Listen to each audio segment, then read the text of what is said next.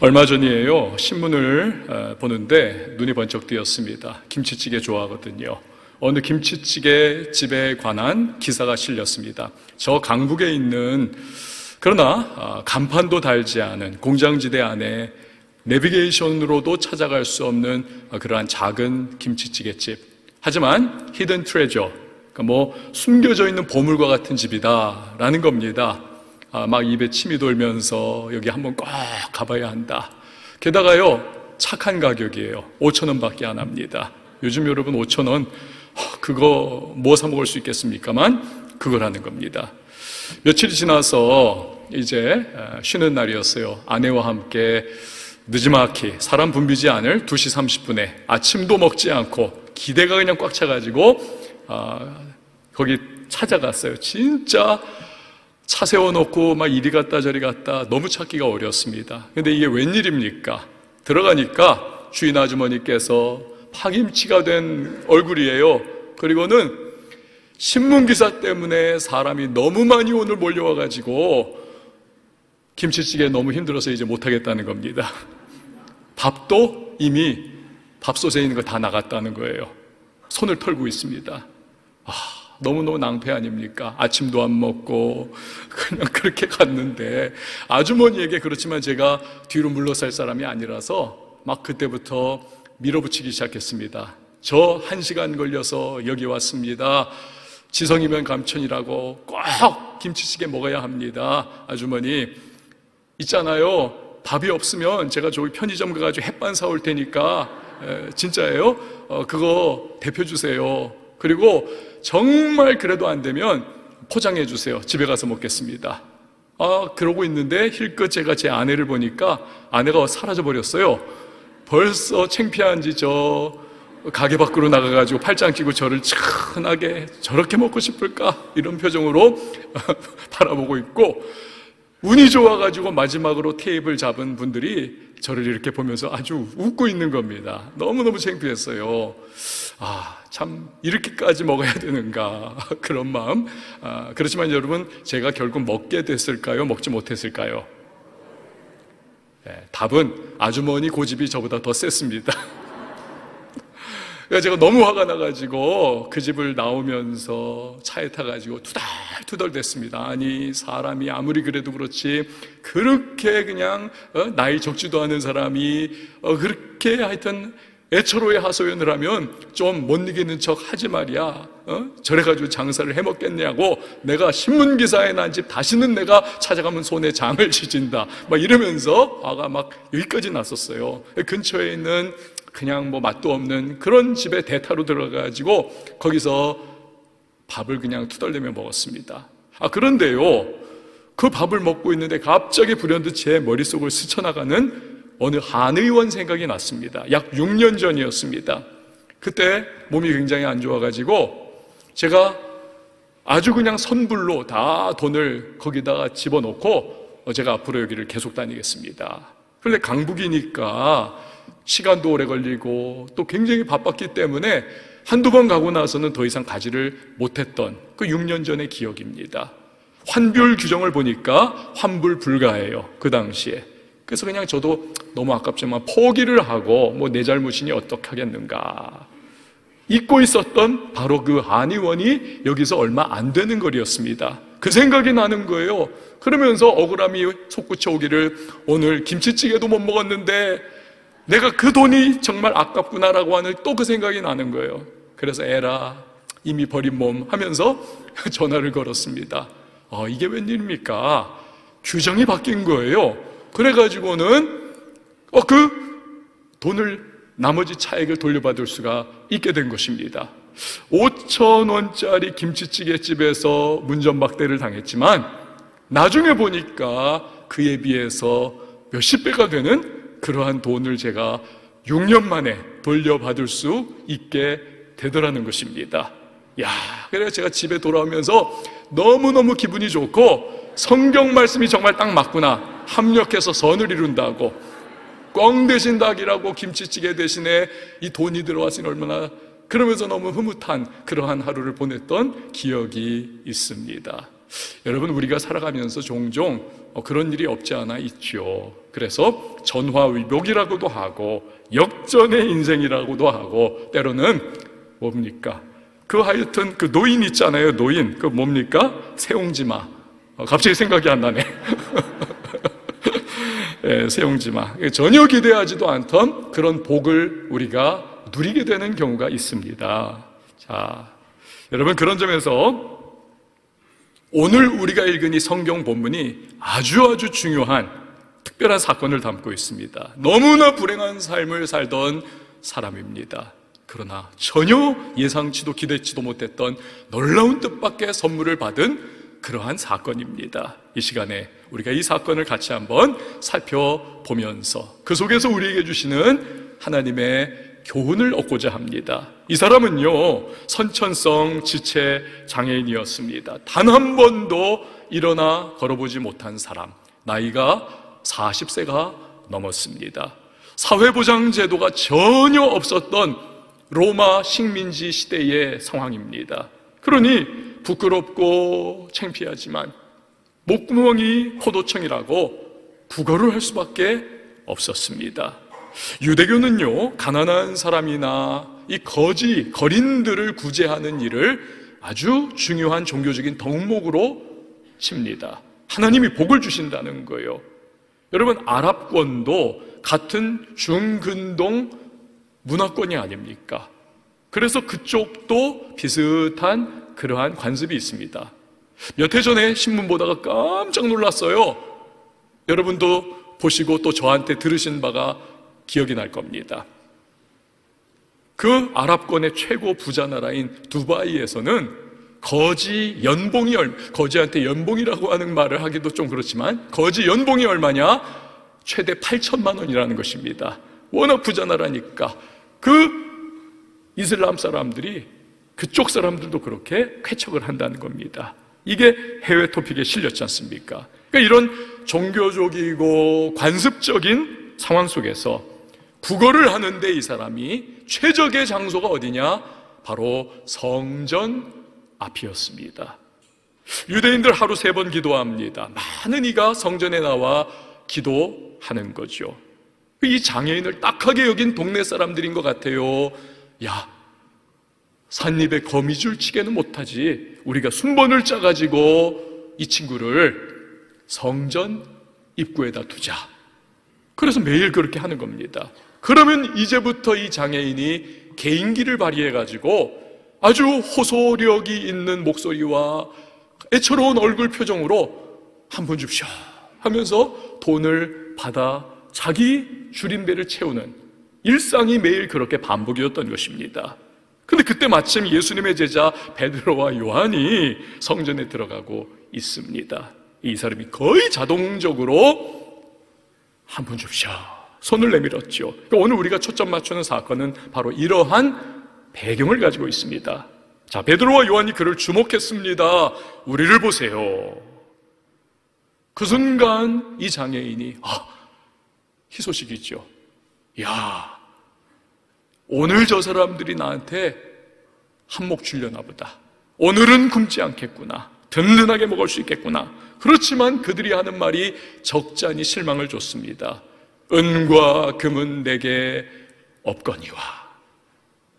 이 사람이 화가 나지 않았을까 싶어요. 아니, 장애인이라고 해서 내가 불구라고 해가지고 날 놀리나?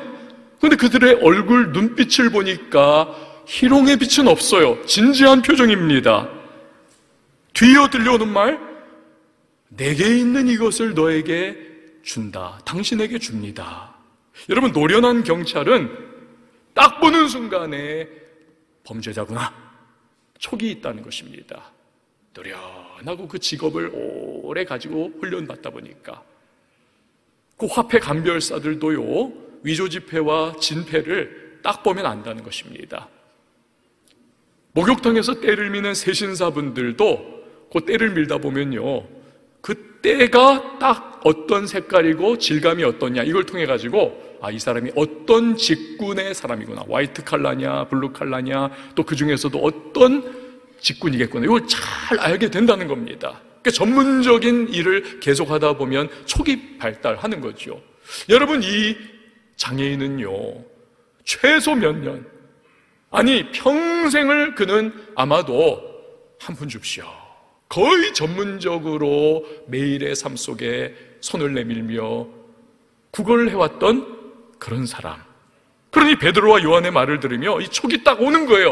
야, 오늘 뭔가가 있기는 한데 돈이 아니다. 그럼 뭘까? 아이 궁금함과 호기심이 그의 마음을 탁 사로잡는 겁니다. 그때 베드로와 요한이 그의 인생, 아니 영혼을 뒤집어 버릴 중요한 말을 합니다. 나사렛 예수 그리스도의 이름으로 일어나 걸으라. 그리고는 그의 오른손을 잡아 일으키더라는 거예요. 그러자 발과 발목이 곧 힘을 얻어 일어납니다. 이 치유가 완전했습니다. 그래서 걷기도 하고 뛰기도 하면서 하나님을 찬양하더라는 것이죠. 감사하더라는 겁니다. 여러분, 오늘 우리가 이 사건에서 초점 맞춰야 할 가장 중요한 부분이 있습니다. 가장 중요한 부분, 이 장애인은요, 단지 한 끼 음식을 위한 돈을 필요로 했던 사람입니다. 그걸 원했어요. 그러나 예수님은 제자들을 통해 가지고 그의 일시적이고 한시적인 조금만 지나면 배가 또다시 고파질 한 끼 돈이 아니라 진정한 그의 필요, 즉 치유와 회복을 주시더라는 것입니다. 더 이상 장애인이 아니라 정상인의 삶을 살 수 있도록 그래서 하나님께 감사하며 살게 되더라. 여러분 오늘 우리 현대인은요 어떤 면에서 이 장애인과 같은 모습으로 살아갑니다. 우리는 다 나름의 필요를 가지고 살아갑니다. 어떤 분들은 돈에 대한 필요가 아주 대단한 분들이 계세요. 어떤 분들은 이 성적 욕구에 대한 필요가 아주 불타오르는 사람도 있고, 어떤 분들은 배우자에 대한 결혼에 대한 필요가 지금 마음을 꽉 사로잡고 있는 분들도 계십니다. 건강에 대한 필요, 아주 좋은 신축 아파트에 대한 필요를 가지고 있는 그런 분들도 계실 겁니다. 누군가는 성공, 명예, 뭐 이런 미래의 보장, 뭐 이런 것들이 나름의 필요겠죠. 그래서 성전문에서 베드로와 요한에게 손을 내밀어 그 필요를 채우려고 했던 장애인처럼 오늘 사람들 역시도 자기의 필요를 채워줄 그 무언가 수단과 방법을 향해 손을 내미는 겁니다. 그것이 누군가에게는 사업이죠. 그 사업을 통해서 자기의 돈에 대한 성공에 대한 성취에 대한 그 필요를 채우려고 하는 것입니다. 어떤 젊은이들은 술과 클럽을 전전하면서 그 욕구에 대한 육체의 욕구에 대한 필요를 채우려고 하는 불나방과 같은 모습을 보이기도 하지요. 어떤 사람은 코인과 주식과 부동산, 영끌이 그 방법이기도 합니다. 운동에 올인해가지고 그 건강에 대한 필요를 채우려고 하는 분들도 있습니다. 가정과 개인적인 삶을 거의 포기하면서까지도 성취와 성공을 채워 넣으려고 하는 아침부터 저녁까지 뛰는 그러한 분들도 계십니다. 저는요, 그런 것들을 다 폄훼할 마음이 전혀 없습니다. 아니, 정당한 방법으로 꼭 필요한 그러한 부분에 대해서 열심을 내는 그러한 모습들에 대해서는 칭찬을 하고 싶어요. 인정을 해주고 싶습니다. 그러나 문제가 무엇입니까? 그런 것들도 모두 한시적이라는 것, 한계가 있다는 것이죠. 마치 오늘 성경에 나온 장애인의 한 끼 배부름과 같습니다. 금방 꺼져버려요. 금방 사라져버립니다. 여러분 주식, 부동산, 뭐 영끌, 뭐 코인 이런 거 열풍이 막 일어났었지만 보세요. 금리 오르고 하면서 법을 꺼지면서 지금 많은 사람이 막 피눈물을 흘리게 되었습니다. 자산 가치의 추락. 건강과 젊음의 상징인 초콜릿 볶은 식스팩. 여자분들은 S라인. 좋죠. 그러나 어쩔 수 없이 나이 들어가면 어떻게 됩니까? 남는 건 똥배. 방법이 없어요. 아니 중년 넘어가면 그때부터 머리부터 발끝까지 어디 쑤시지 않고 아프지 않은 곳이 없습니다. 늘 몸이 힘들고 불편하고 어깨는 뭉쳐 있고 여러분, 성공과 명예는 어떻습니까? 이 미국 대통령이야말로 전 세계에서 가장 파워와 명예와 권력과 성공의 자리가 아닙니까? 근데요, 미국의 30대 대통령 칼빈 쿨리지라고 하는 분이 계십니다. 이분이요, 선언을 했어요. 나는 두 번 다시 이 대통령 나는 안 해먹는다. 왜냐고 물었더니 그가 말하기를 더 승진할 수 없기 때문이다. 아주 유머러스한 말이지만 여러분 그 안에는 또 뼈가 있습니다. 성공과 명예와 권력을 쟁취하는 그 일을 해봤지만 그러나 그 대가가 너무너무 힘들고 고통과 참 고민과 어려움이 많아가지고 두 번 다시는 나 못하겠다. 어, 그러한 사실은 고백이 그 안에 또 담겨 있는 것이죠. 여러분 이 땅의 모든 것이 그렇죠. 한시적입니다. 나중에는요 한탄할 수밖에 없어요. 내가 왜 내 건강마저 상하면서 내가 왜 가족의 그 따뜻한 사랑과 자식들의 그 끈끈한 너무너무 중요한 그 시간 시간을 내가 포기하면서까지도 내가 왜 인간관계를 그렇게 다 헌신짝처럼 내가 포기하면서까지도 뭘 위해서 내가 여기까지 달려왔던가 많은 분들의 고백이 아닙니까? 마치 바닷물 마시면 잠깐 해갈은 되지만 조금 시간이 지나면 이 목이 더 말라요. 이 세상 것들은 다 사실은 그렇습니다. 더, 더, 더 하다가 끝나버리는 것. 이번에 우리 교회 권사님 한 분께서 이제 수필집을 내셨거든요. 저한테 추천사를 써달라고 그 책을 빌려주셨습니다. 쭉 읽어보니까 아주 좋은 내용, 묵상, 뭐 이런 것들이, insight들이 그 안에 있었는데, 이 권사님께서 인용을 한 그런 내용이 이런 게 있었습니다. 하나님이 이렇게 보니까, 물론 이거는 작가적인 상상이에요. 하나님이 보니까 사람들이 참 이상하더라는 겁니다. 왜냐하면, 그냥 하여튼 돈 벌기 위해서 건강 다 상하면서까지도 돈 벌었는데, 나중에는 그 상한 건강 때문에 그거 회복시키느라고 돈을 그냥 번 거 다 거기다가 틀어박아 놓더라는 거예요. 어렸을 때는 빨리 어른 되고 싶다고 그렇게 안달이었는데 어른 되고 나니까 나이 드니까 이제는 어린 시절로 돌아가고 싶다. 그런다는 겁니다. 미래를 위해서 현재를 포기하면서 그렇게 살아갔는데 나중에 보니까요, 미래도 제대로 못 살더라. 그래서 현재와 미래 모두 다 그저 그렇게 살더라. 그래서 하나님께서 참 사람들은 참 이상해. 어, 그렇게 생각하신다는 거예요. 여러분, 그 맞는 말이 아닌가 싶습니다. 그러니까 우리는 내가 뭘 추구하는지, 어떻게 살아가는지, 또 그게 정말 가치 있는 것인지를 한 번쯤은 정말 돌아봐야 하는 것이죠. 자, 성경으로 우리가 다시 한번 들어가 봅니다. 예수님은 베드로와 요한을 통해서 이 성전문에서 막 구걸을 하고 있던 이 장애인의 진짜 필요를 채워주셨습니다. 한 끼 음식이 아닙니다. 돈이 아닙니다. 치유와 회복이었죠. 그 뜻밖의 선물을 예수님이 그에게 주시죠. 여러분, 그런데 예수님은 오늘을 살아가는 우리에게도 마찬가지입니다. 한시적이고 일시적인 것을 채워주는 것. 우리 예수님은 그게 아닙니다. 그걸 넘어서 가지고 우리에게 근본적인 누구나 직면하고 있는 인생의 문제에 대한 해답을 주고 싶어 하시는 분이 예수님이세요. 그 인생의 근본적인 문제가 무엇인가 우리가 누구나 직면해 있는 우리가 결코 스스로는 해결할 수 없는 그 근본적 문제가 뭐냐? 그게 바로 죄 문제입니다. 어떤 분은 또, 또 그 얘기네. 아니요, 여러분. 그건 반드시 우리가 짚고 넘어가야 되기 때문에 그렇습니다.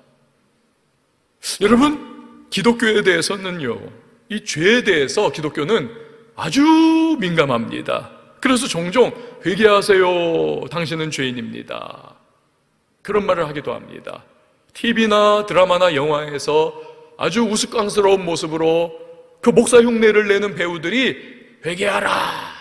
뭐 죄인이 아니냐 이러면서 막 그 광신도적인 그러한 분위기를 막 열광적으로 만들어내는 그러한 여러분 장면을 보신 적들 있을 겁니다. 그리고 바로 그 죄 문제를 지적하는 것이요. 수많은 분들이 기독교에 대해서 굉장히 붕괴하고 기분 나빠하는 이유이기도 합니다. 아니, 내가 무슨 죄인이라는 거야? 왜 기독교는 자꾸 그래? 나 도덕적으로, 윤리적으로 해코지하지 않고, 나 사회에 해되지 않을 그런 삶을 살기 위해서 정말 몸부림쳤는데 왜 자꾸 죄인이라고 하는 거야? 여러분, 기독교에서 말하는 죄는 이 겉으로 드러난 살인이나 강간이나 강도나 도둑질이나 이 겉으로 드러나는 것보다 더 깊습니다. 더 근본적인 것을 의미를 하고 있습니다. 이 죄라고 하는 단어는요, 성경의 언어로 하말티아라고 하는 단어입니다. 하말티아. 그 뜻은 관역에서 빗나간다, 벗어간다.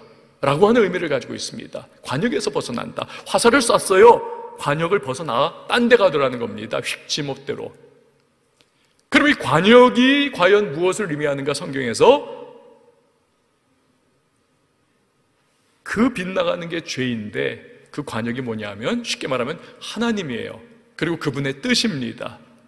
하나님의 말씀입니다. 그러니까 우리가 기독교가 죄라고 하는 것은 뭐냐 하면 뭐 겉으로 드러나는 죄된 행동도 있지만 우리의 내면에 반항적이고 하나님에 대하여 불순종의 마음을 가지고 있기에 하나님에 대하여 우리가 내 삶은 내가 주인이다. 하나님을 거부하고 살아가면서 하나님의 뜻과는 관계없는 그러한 인생을 혼자 마치 화살이 관역을 벗어나서 날아가듯 자기 혼자 그렇게 살아가는 그 모습, 그것이 성경이 말하는 하말티아, 죄라고 하는 의미를 가지고 있습니다. 여러분, 하나님은 그런데 어떤 분이신가? 완전하신 하나님, 거룩하신 하나님, 흠과 점과 티와 어둠이라고는 조금도 없으신 하나님, 죄와는 전혀 상관없는 하나님. 이런 하나님과 떨어진 인간은 결국 죄된 결과물을 계속 만들어낼 수밖에 없는 것이죠. 그래서 죄를 지어서 죄인이 아니, 아니고 죄인이기 때문에 죄가 계속 우리 안에서 만들어지는 겁니다. 여러분, 아기들을 보면 알 수 있잖아요. 이 아기들 방구 듣는 모습, 그 피부가 그냥 보들바들해가지고, 나도 옛날에 저랬을 텐데. 그런 생각 들 정도의 날개만 달아주면 막 하늘로 날아올 것 같은 천사 같은 아기들. 근데 여러분 어떻습니까? 가르쳐 주지 않아도 잘하면 미워하고, 불평하고, 증오하고, 때리고, 욕하고, 저는 제 딸이 어렸을 때 너무 순하고 너무 착해가지고 야 얘는 사람이 아닌 것 같아. 이제 내년도 결혼을 한다고 하는데 그 생각을 했었습니다. 그런데요 그렇게 착하고 순해 보였던 아이가 아니 셋째 동생이 태어났습니다. 얘는 둘째인데 아 그랬더니 엄마 아빠의 사랑이 동생에게 또 가잖아요. 내리사랑이라고. 아, 그래 놓으니까 이 아이가요, 그 동생이 이렇게 자기가 있는 방으로 들어오면 소리를 냈다 지르는 거예요. 나가! 막 그러면서 깜짝깜짝 놀랐었습니다. 그러면서 그때 깨달았어요. 아, 천사가 아니구나. 아니더라고요.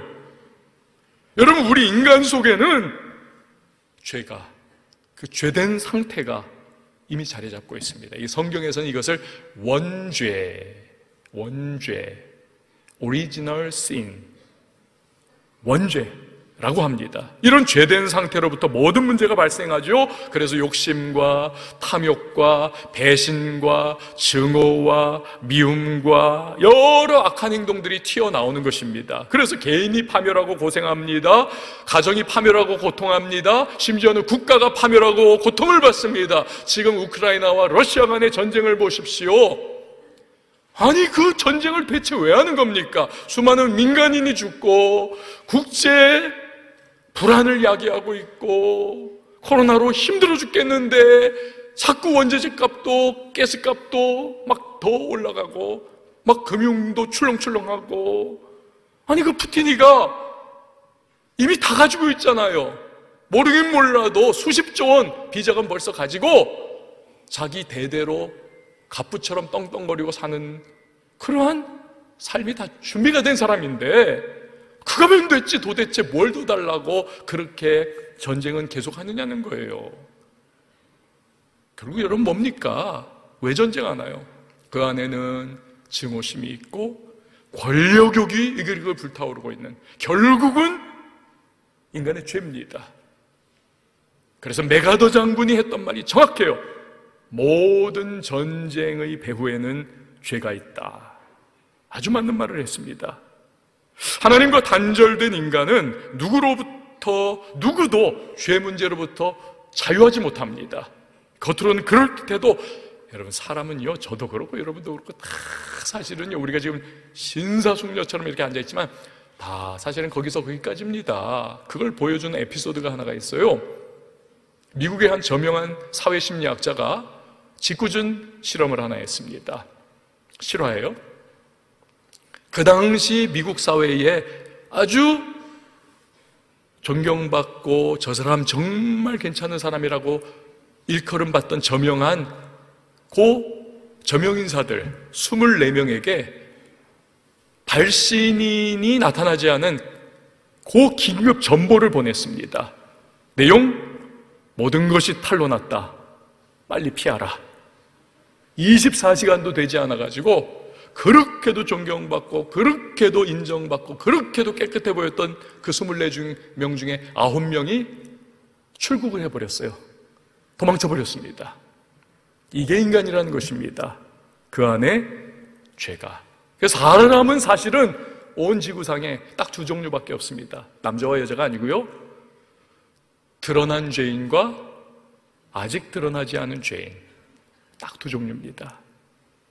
이런 죄가 무겁게 짓누르니까 인간은 평생 인생이 무겁고 인생이 고통스럽고 씨름과 번민이 갈등을 야기합니다. 그게 나폴레옹이 한탄하면서 내 인생에 행복했던 때는 6일밖에 안 되는구나. 그 이유예요. 여러분, 우리도 삶이 무겁습니다. 고통이 많습니다. 눈물이 많습니다. 한숨 많은 인생을 살아갑니다. 우리에게 이 죄 문제 해결할 수 있는 방법이 있다면, 하, 그러면 얼마나 조, 좋을까요? 그런데 죄 문제를 해결해 주기 위해 오신 분이 계십니다. 바로 예수님이십니다. 이 예수님께서 하나님과 우리의 끊어진 관계, 이 죄된 상태를 이어주기 위해서 이 땅에 오셨습니다. 어떻게 해요? 세상에서도요, 여러분, 죄를 지면 어떻게 됩니까? 형벌을 받습니다. 대가를 치릅니다. 하나님에 대하여 죄된 상태 역시 마찬가지입니다. 형벌이 있습니다. 성경은 말씀하기를 죄의 싹은 사망이다. 죄의 결과는 사망인 거지요. 예수님은 우리의 죄 문제를 해결해 주기 위해서 우리가 받아야 할 사망을 십자가에서 대신 받아주신 것입니다. 십자가. 그래서 기독교가 십자가를 그렇게 중요시하는 거예요. 죄값을 치르면 죄인이라 할지라도 더 이상 감옥에 갇혀 있을 필요가 없습니다. 이제는 사회로 나와서 끊어졌던 인간관계가 다시 회복되고 사람들 속에 함께 살아가게 됩니다. 예수님께서 우리 위하여 대신 죽어주셨고 그 의로우신 예수님께서 십자가에서 피 흘려 우리의 모든 하나님과의 끊어졌던 죄악을 이어주셨기 때문에 이제 우리는 하나님과의 관계가 다시 연결이 되는 겁니다. 하나님이 주시는 복을 누릴 수 있고 하나님과 동행하는 삶을 살 수 있고 이 땅 살아가면서 하나님이 주신 은혜와 축복과 행복을 누리며 살아갈 수 있고 그것을 구원 받았다라고 하는 것입니다. 그리고 구원은 영원한 생명으로 이어지는 것입니다. 구원은요. 사람들은 그런데 그 구원과 영원한 생명을 얻고자 자기 나름의 방법을 자꾸 만들어냅니다. 왜? 예수님을 믿지 않기 때문에, 모르기 때문에, 받아들이지 않기 때문에. 그래서 철학적인 사유에 빠져듭니다. 인간이란 무엇인가? 누군가는 또한 착한 일에 계속 매달려요. 윤리적이고 도덕적으로 살면 내가 구원받을 수 있지 않겠는가? 여러분 이게 뭐와 같으냐? 물론 그, 그 사람 중에서는요, 야, 저 사람 정말 법 없이도 살 사람이야. 정말 박수 쳐줄 만큼 존경스러운 분들도 있어요. 그러나, 그거로는 안 됩니다. 왜? 완전하시고, 거룩하시고, 흠과 점과 티가 전혀 없으신 그 하나님의 절대적인 기준에는 아무리 인간이 발버둥쳐도 미칠 수 없기 때문에 그렇습니다. 도달 불가. 뭐와 같으냐 하면 옛날에 그 아시아의 물개라고 하는 별명을 가진 조련 선수가 부산에서 대마도까지의 그 대한해협을 13시간에 걸쳐가지고 헤엄을 쳐서 건너갔던 적이 있습니다. 바로 저 사진이에요. 그게 성공을 했어요. 그런데 아무리 수영 천재라 할지라도 여러분 태평양을 건너갈 수 있을까요? 자기 힘으로? 아니요. 배영, 평영, 접영, 자유형 아무리 몸부림을 쳐도 불가능합니다. 인간이 아무리 구원의 바다, 영원한 생명의 바다, 죄의 바다를 건너 거기에 도달하려고 해도 이건 불가능한 것입니다.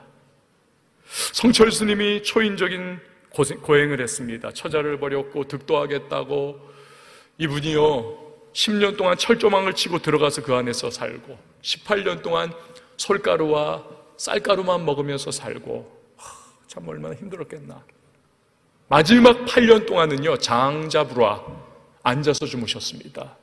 이거 뭐 우리는요 이건 상상을 못 하는 거죠. 어떻게 앉아서 잡니까 8년 동안? 근데 이분이 나중에 뭐라고 합니까?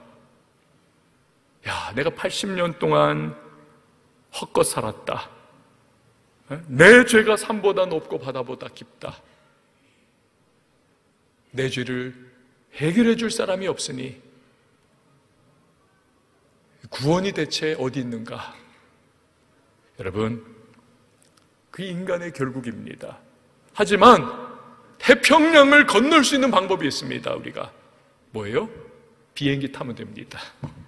그 안에 딱 들어가 앉아가지고 기내식 먹고 음악 듣고 영화 한 두 편 보고 그러면 그러면 12시간 지나면 태평양 건너 딱 대륙에 다 가는 거죠. 예수님이 바로 그 비행기 역할을 하신 분이세요. 예수님 요한복음 14장 6절에서 내가 곧 길이요 진리요 생명이니 나로 말미암지 않고는 아버지께로 올 자가 없느니라 말씀하셨습니다. 즉 죄의 문제 해결하신 예수님 안에 있으면 여러분 이 땅에서도 평안과 감사와 기쁨이 있고 이 죄의 바다를 건너서 우리가 하나님께 나아가는 길이 열린다는 것입니다. 그리고 구원받고 영원한 생명을 얻게 되는 것입니다. 예수님 안에 있는 방법이 무엇일까요? 그러면 믿는 것입니다. 그 예수님 믿는 거예요. 로마서 10장 10절에 사람이 마음으로 믿어 의에 이르고 입으로 시인하여 구원에 이르느니라. 제가 이 말씀을 준비하다가 그 조하문이라고 하는 그 가수가 이렇게 기사를 읽었어요. 조하문 씨. 조하문 씨. 이분이요, 80년대 후반, 여러분들도 또 기억하시는 분들 계실 겁니다. 노래 얼마 잘했습니까? 대학가요제 은상 받고, 그때부터 막 그랬잖아요. 유명한 그 해야라고 하는 곡, 어, 해야 뜨라 이러면서 어, 그거 막 불렀지 않습니까? 이분이 가요계를 평정했어요. 그 앨범 하나가 무려 100만 장이 팔렸습니다. 돈, 성공, 명예, 뭐 하여튼 다 거머쥐었습니다. 그랬던 분. 그런데 후속곡이 기대에 못 미쳤습니다. 그러면서 이분이요, 막 초조해지고 조급해지고 좌절감이 찾아오고 높이 올라가면 더 떨어질 게 많거든요. 그러니까 막 추락추락추락 그러면서 우울증이 찾아오고 공황장애에 시달리고 이걸 견디다 못하니까 대체제를 찾는데 그게 뭐냐 하면 알코올 중독입니다. 그래가지고 막 폭탄주를요 일주일에 하루도 빠지지 않고 매 일 그렇게 마시면서 잊어보려고 잊어보려고 근데 안 되더라는 것입니다. 나중에는 그런 방법은 죽는 것밖에 없지. 어떻게 내가 자살할 것인가? 머릿속에 자살에 대한 그 생각이 꽉 차 있었다는 겁니다. 자, 그런 그가 살 수 있었던 것이 바로 예수님과의 만남입니다. 성경 말씀 요한복음 14장 27절에 예수님 이런 말씀하셨어요. 평안을 너희에게 끼치노니 곧 나의 평안을 너희에게 주노라. 내가 너희에게 주는 것은 세상이 주는 것과 같지 아니하니라. 너희는 마음에 근심하지도 말고 두려워하지도 말라. 이 말씀을 통해서 예수님을 만났습니다. 서서히 평안이 찾아옵니다. 성경을 읽으면서 마음에 회복이 시작되고 마음에 평안이 찾아오고 기쁨이 다시 살아납니다. 예수님이 너무 좋아졌어요. 나중에는 이분이 목사가 돼요. 조화문 목사님이 장애인들 돌보면서 목회를 하시고 계십니다. 그가 말해요. 그 과거 20, 30대에 스포트라이트와 박수 세례가 막 쏟아지던 그 시절로 나는 절대로 돌아가고 싶지 않다. 그때는 돈과 명예와 성공을 거머쥐었지만 사실은 지옥과 같았다. 난 지금이 너무 좋다. 예수님이 주시는 구원과 영원한 생명을 누리고 이 땅에서 예수님과 함께 하면서 하나님과의 관계가 회복되어서 기쁨과 평안 가운데 나는 즐겁게 지금 살아가는 난 지금이 너무너무 좋다. 그는요, 인기와 명성이라는 필요를 갈구했지만 고통 중에 예수님이 주시는 뜻밖의 놀라운 선물을 받아 누렸던 것입니다. 전 세계 기독교 인구가 21억 명입니다. 그 중에 정말 예수님 만난 사람들은 다 매 주일마다 세상에서는 일요일마다 교회를 갑니다. 아유, 기독교인들은 왜 이렇게 일요일마다 힘들게 교회를 가? 아니요. 직장인이 1년 내내 뺑뺑이 돌면서 직장에서 힘겹게 일을 하다가 명절이 되면 아버지 어머니 계신 고향으로 몇 시간 걸려가지고 힘들게 가요. 그렇지만 올라오는 길에 마음이 푸근해지고 넉넉해져서 나머지 1년을 또 버텨내가는 것입니다. 교회 오는 게 그런 것입니다. 하나님 만나는 하나님 아버지 만나는 구원 주시고 영원한 생명 주시는 그 하나님 만나는 감격과 은혜와 평안과 기쁨이 있기 때문에 힘들어도 교회 나오는 것이죠. 힘들어도 그리고 넉넉하게 한 주간을 또 살아가는 것입니다. 예수님은 우리에게 이런 놀라운 선물을 주시는 분이십니다. 저는 바라는 것은 오늘 나오신 모든 방문자들 또 이곳에 계신 우리 모두가 바로 그러한 놀라운 선물을 받으실 수 있기를 축원을 드립니다.